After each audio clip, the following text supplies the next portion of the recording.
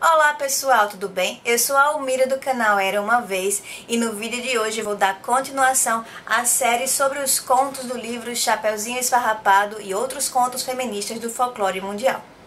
No canal esse vai ser o quarto vídeo dessa playlist que já conta com contos sobre mulheres idosas, contos sobre mulheres independentes e contos sobre humor e inteligência.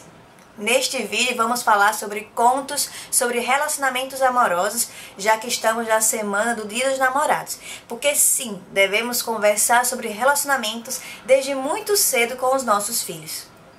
É na infância ainda que ela vai construir o seu ideal de relacionamento, como ela vai considerar um relacionamento como normal ou saudável, vendo esse relacionamento em casa, na sua família e também através dos livros e das experiências que ela tem. Quando você pensa em relacionamentos de contos de fadas tradicionais, o que vem à sua cabeça? É geralmente aquela mocinha pobre, frágil, bela e indefesa que se apaixona pelo príncipe que é heróico e é rico e que sempre tem ali uma bruxa má para atrapalhar a vida do casal. A minha função aqui é oferecer outras histórias para que possa aumentar o repertório dos seus filhos, inclusive aumentar o repertório de relacionamentos saudáveis. Uma criança que reconhece o que é um relacionamento saudável tem muito menos propensão a entrar num relacionamento abusivo no futuro. E assim, oferecer opções de histórias com relacionamentos igualitários, com respeito e cooperação mútua, para mim é uma coisa muito importante e que com certeza eu vou oferecer à minha filha. Nessa coletânea de contos temos seis contos sobre relacionamentos. O primeiro que eu vou citar é A Grande Mestra. Esse é mais um conto escandinavo do livro. Nesse conto a mocinha é séria, ela é grave, ela tem muita sabedoria, enquanto que o mocinho ele é alegre e impulsivo. E com isso também aprendemos que para o príncipe ser amado, ele não precisa ser heróico do modo tradicional nem ser habilidoso.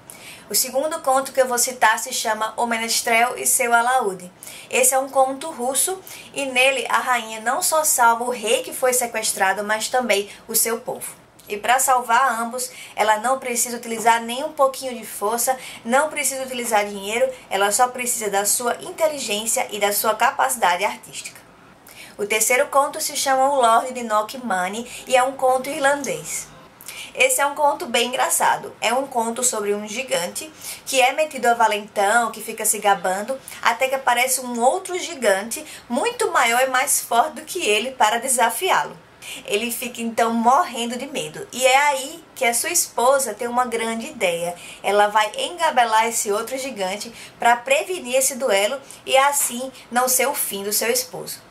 O quarto conto se chama O Príncipe e seus Três Destinos. Esse é um conto que foi originado ali por volta das margens do rio Nilo.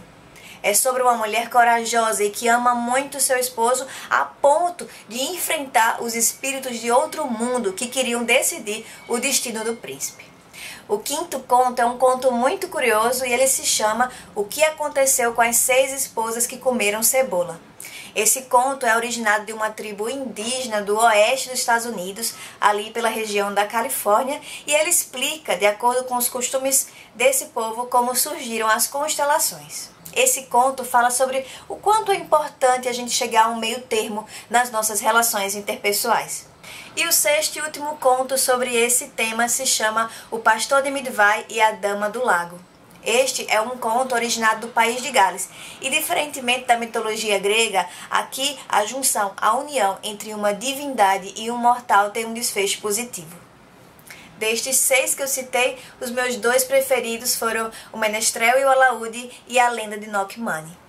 Eu vou colocar aqui embaixo na descrição do vídeo o link para a playlist para que você possa descobrir um pouquinho mais sobre os outros contos também. E se gostou do vídeo, por favor, dê seu joinha, se inscreve no canal e compartilha com os amigos. Obrigada!